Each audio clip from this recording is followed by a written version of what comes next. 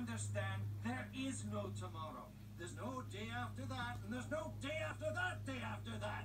My life was perfect, and I'm never gonna get it back. Well, if your life was so perfect, then why'd you sign all the way to Rumpelstiltskin in the first place?